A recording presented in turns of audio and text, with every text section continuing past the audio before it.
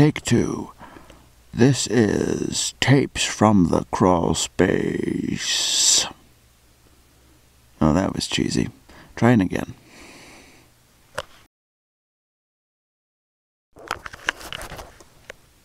This has been Tale Tapes. All right, from the top this time.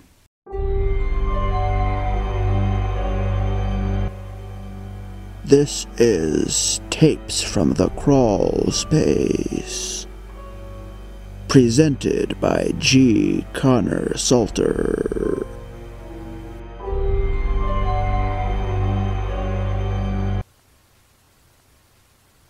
Covet. Could it get any easier? Ben flicked dirt from his forehead and took out another shovelful. The casket was only half covered now. Dig a little, break a little, take a little. Who's the wiser? Ben recalled the funeral, the open casket showing the necklace.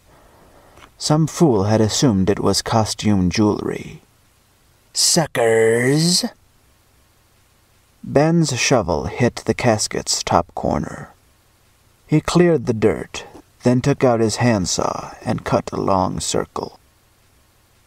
If there weren't houses nearby, I could have gone electric on this part. The wood finally gave way to reveal the woman's head and neck. The necklace shone like polished bone. Yeah, baby. Ben touched it, feeling the cool pearls. The woman's mouth opened. Ben gasped. The head jerked forward. The teeth clamped down hard on his fingers. Ben tried to scream, but a low growl drowned him out entirely.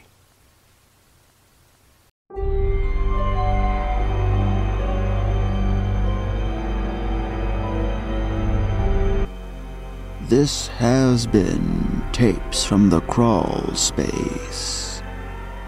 Brought to you by some sponsor whose name eludes me at the moment. At any rate, tune in tomorrow for another chilling episode. We'll be waiting.